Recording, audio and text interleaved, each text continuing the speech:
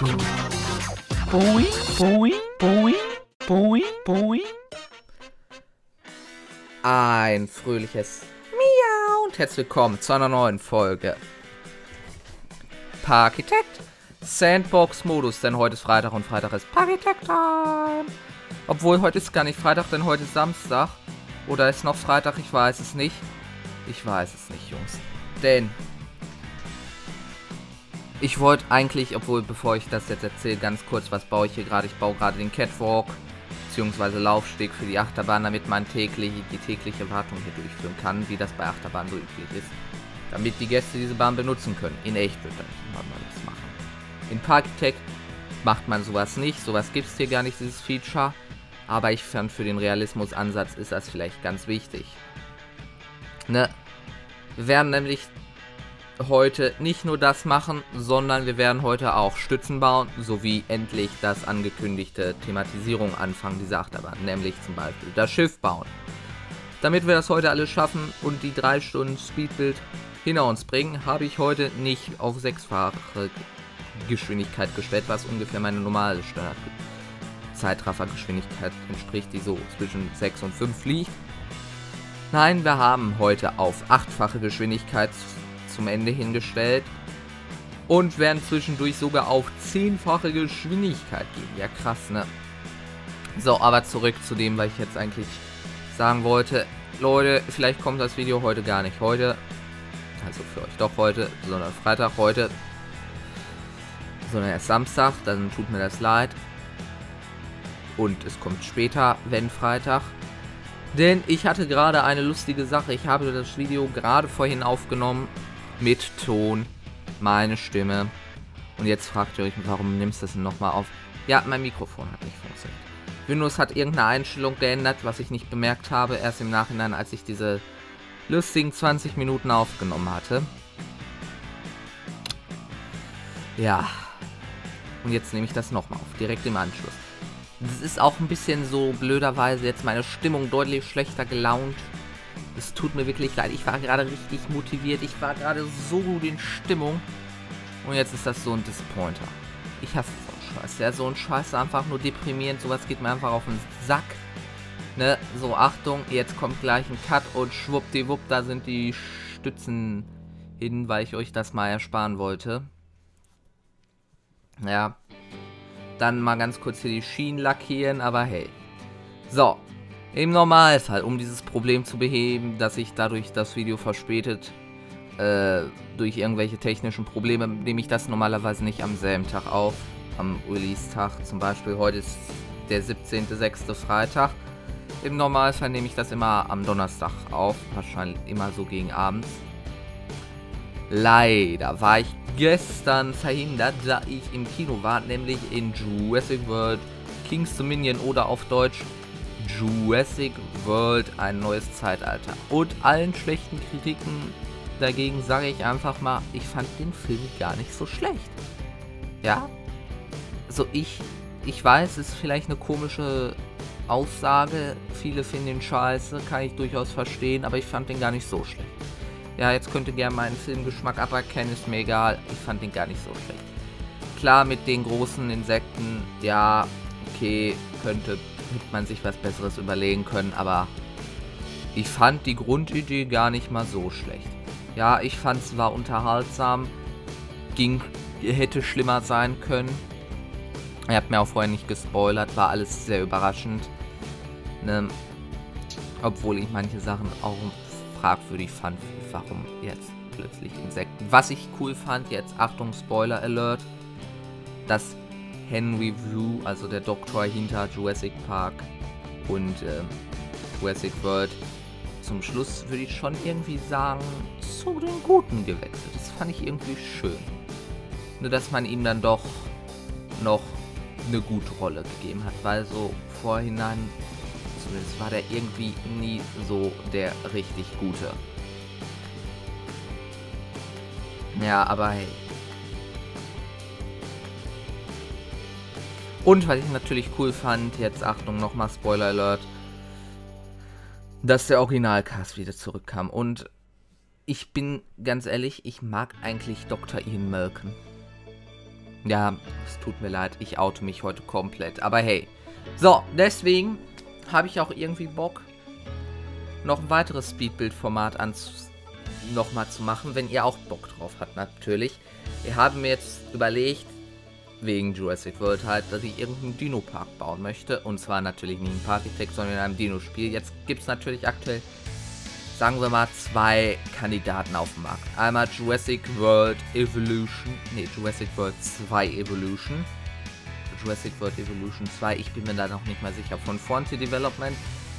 Und einmal vor, äh, einmal Prehistoric Kingdom. Und zwar von Blue Meridian, oder wie, der, wie die sich auch aussprechen. Blue Meridian. Keine Ahnung, von Critiview, der Publisher. Ja. Äh, das mich deutlich mehr anspricht, weil man da deutlich mehr Sachen customizen kann. Das ist natürlich viel ansprechender für mich, wenn ich hier mir einen aus dem Arsch leier bei solchen Sachen. Hier im Partytech, da stelle ich mir deutlich eher vor hier, äh, Prehistoric Kingdom. Könnte man machen. Ne, nicht Jurassic World Evolution. Dennoch würde ich mir bei solchen Spielen, also Prehistoric Kingdom finde ich von der Idee sehr cool, so dass man alles stretchen, stauchen, also vom Scaling ändern kann. Das würde ich mir auch mal für ein Freizeitparkspiel wünschen bin halt mehr Freizeitpark-Fan als Dino-Fan. Bin ich mal ganz ehrlich. Ne? Aber hey. Trotzdem habe ich in diesem Spiel noch nicht so viel Zeit rein investiert. Das heißt, ich habe da noch nicht so die große Ahnung von. Ja. Deswegen könnte das noch ein bisschen dauern, bis da die erste Folge kommt. Vielleicht nächste Woche schon, vielleicht auch nicht. Ich weiß es noch nicht.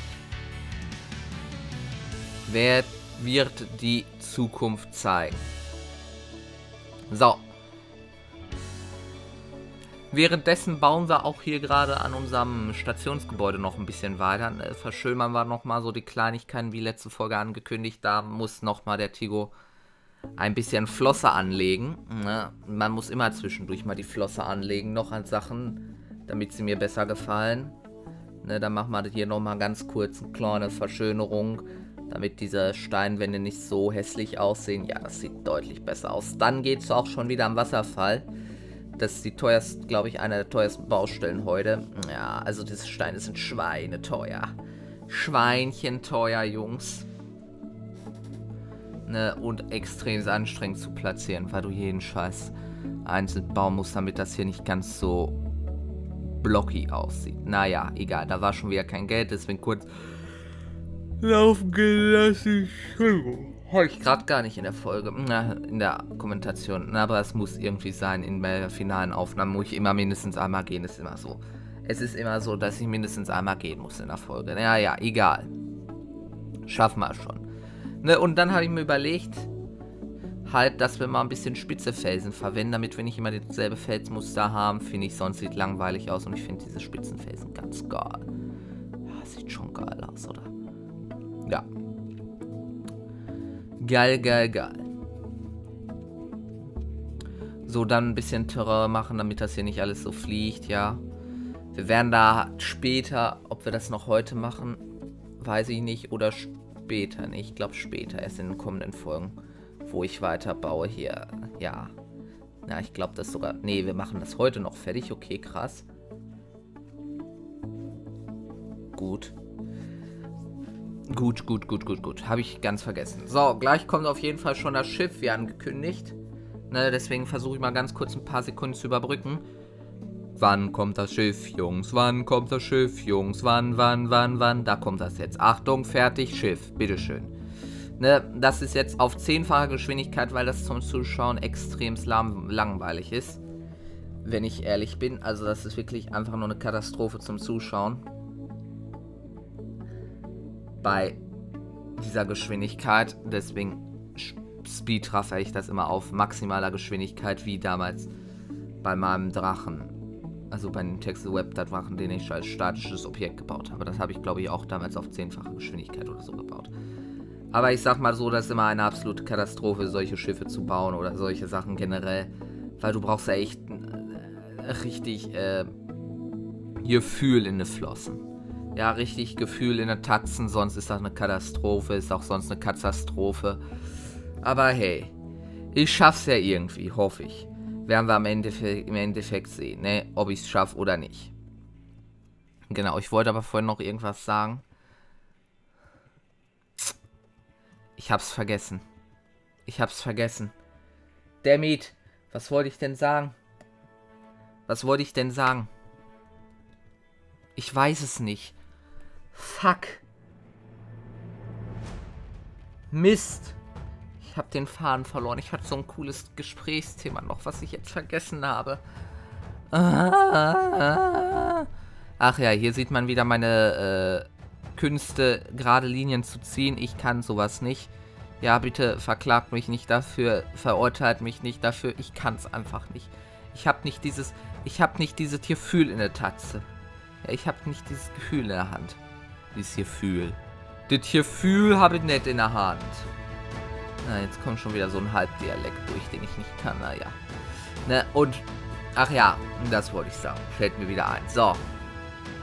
Also, klar, das zehnfache Geschwindigkeit, sonst kann man es sich nicht geben. Das heißt, Ihr seht jetzt 60, 70 Minuten in 7 Minuten zusammengezogen. Nice. Geil, oder? So ungefähr. Ne, und ich weiß, Jungs, ihr seht ja oben gerade meinen FPS-Counter. Ich meine, der wäre nicht mal bei, 70, bei 60 FPS durchgängig. Ja, und ihr müsst bedenken, ich habe jetzt keinen schwachen PC. Ich habe einen sehr starken PC mit einer RTX 390 und einer guten AMD-CPU, würde ich mal sagen, bin ich jetzt nicht, gehöre ich nicht zu den leistungsschwachen PCs. Ja, und trotzdem struggelt mein PC hier, aber hey, ja, das kommt auch einfach noch zwischendurch dazu, dass man Sachen neu bauen muss, weil die scheiße aussehen. Ne, seht ihr ja, das sieht, sah einfach nicht geil aus. Hm. Naja, dann das nochmal eben machen, weil das auch nicht geil aussah und dann weiter am Drachenkopf. Das war auch eine Katastrophe. Ja, aber ihr seht, wir sind nicht mehr bei 60 FPS. Das heißt, ich sollte vielleicht in Zukunft ein bisschen Teile sparender bauen. Und sagen wir mal so, was ich hier tue, ist nicht Teile sparen. Ja, ich weiß nicht, wie viele Dutzend Teile Kreise ich mache. Ich hasse erstmal diese Arbeit, die ist eine Katastrophe für mich. Ist immer bin ich am Rande der Verzweiflung, am Rande des Wahnsinns. Also wenn ich mein, mein Audio aufnehmen würde und keiner in diesem Haus wäre, ich würde so rumschreien, meine Güte, das wäre eine Katastrophe. Dieser Drachenkopf war eh eine Katastrophe. Ne, gleich werden wir den Drachen auch noch lackieren. Lackieren geht ja relativ schnell. Jetzt kommt meine nächste Verzweiflungstat. Gleich der Hals. Meine Güte, dieser Hals, ey. Dieser Hals. Oh, ich habe Angst vor diesem. Ich hasse, ich hasste diesen Hals. Also es war echt eine Schwierigkeit. Ne? Also das geht ja. Also wir werden später in den kommenden Folgen oder in der nächsten Folge nochmal einen Drachen bauen oder sowas in der Art. Ohne Vorlagen. Und das ist dann echt eine Katastrophe, weil dann da ist mal wieder was krumm, da ist was schief geraten. Boah. Boah, da drehst du wirklich durch. Das ist ja noch halbwegs okay, weil ich mich einfach durch verschiedene Größen einfach durchklicken konnte und dann dadurch jetzt mich halbwegs gerade orientieren konnte. Das ist halbwegs angenehm. Das geht ja halbwegs. Da ist ja nicht das große Problem dahinter. Aber sonst so, wenn man es ganz freihand macht. Boah, ey. Da wirst du echt bekloppt bei solchen filigranen Sachen. Weil ich will ja auch immer in diesen Spielen so mini-filigrane Pisskacke machen. Was mir auf den Sack geht. So, jetzt kommt das riesige Problem, das größte Problem dieses Schiffes Säge. Ja, es gibt kein Segel. Ne, doch, gibt es eins, das da, aber das passt nicht. Das heißt, wir müssen irgendeine Form finden, die geschwungen ist, also rausgeht und wieder rein. Wie zum Beispiel ein D. Ja, jetzt habe ich schon gesagt, D Buchstaben, werden wir gleich hinzukommen. Aber ich habe mir zuerst gedacht, Render. Das wäre auch einfach ganz easy Snack gewesen.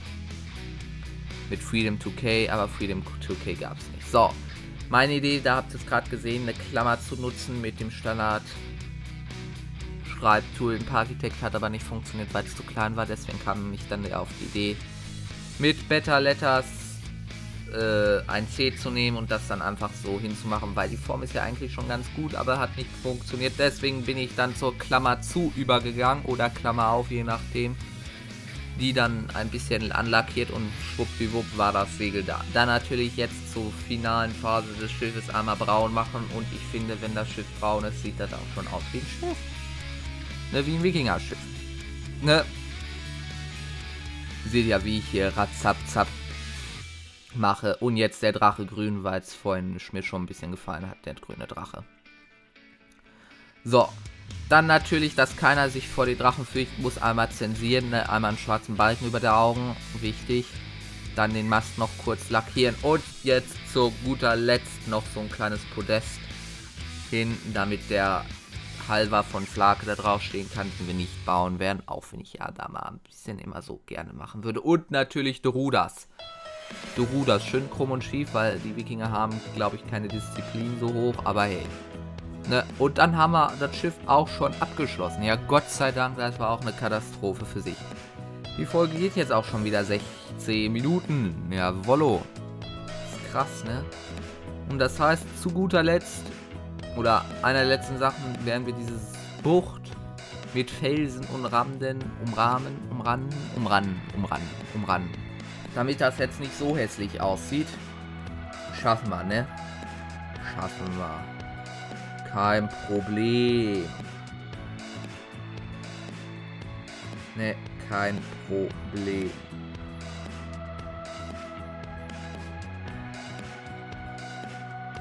Schaffen wir alles, ne?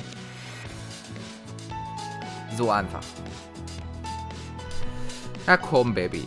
Mach das eben noch schnell fertig. Will langsam ins, Wochen ins Wochenende gehen. Ne, immer dann hier diese Bäumchen platzieren, damit die Stützen wegploppen. Ne, weil wir müssen natürlich Custom-Stützen machen. Und ich glaube, das ist auch wirklich das Letzte, was ich heute mache. Stützen. Ah ne, wir machen da noch später Spitze klippen. Ne, für die Optik. Ne, Stützen, Stützen, Stützen sind auch sehr wichtig für die Optik. Das sieht dann deutlich cooler aus. Dann mein äh, Construction Anarchy Mod Trick, damit ich ein kleineres Raster habe, anwenden.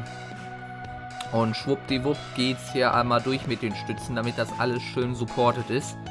Ne, Support ist ja kein Mord. Ah, geil.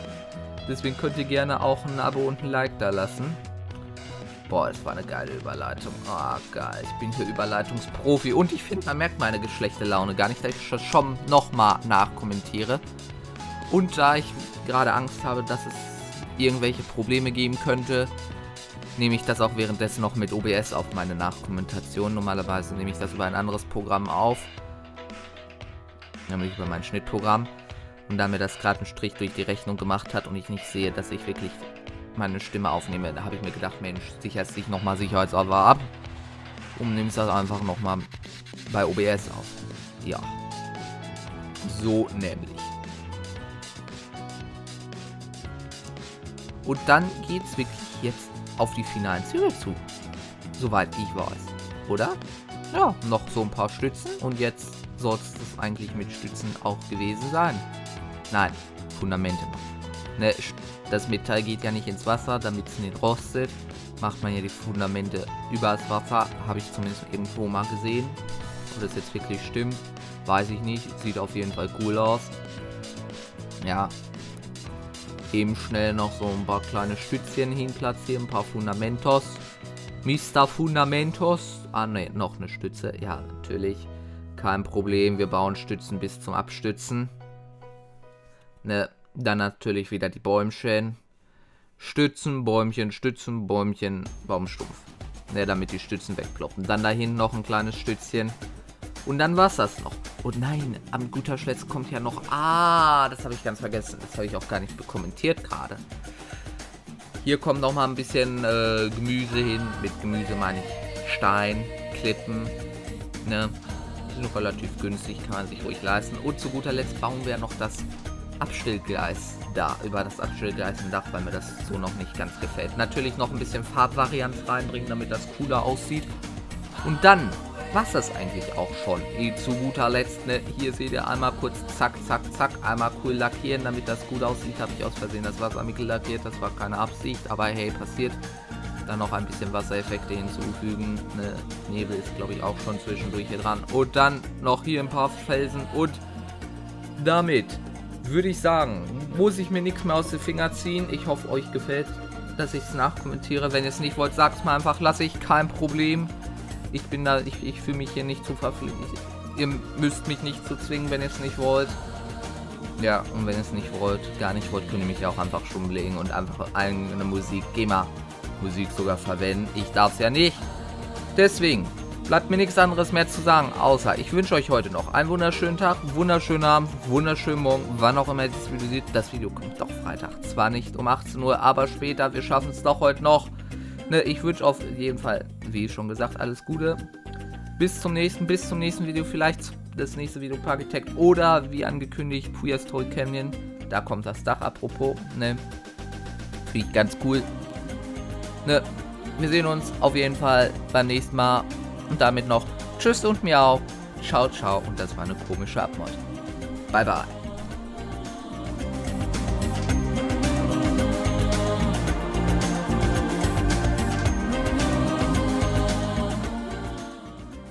Vorhänge sind schon wichtig, Gattin, ne? Ich weiß. Tschüss.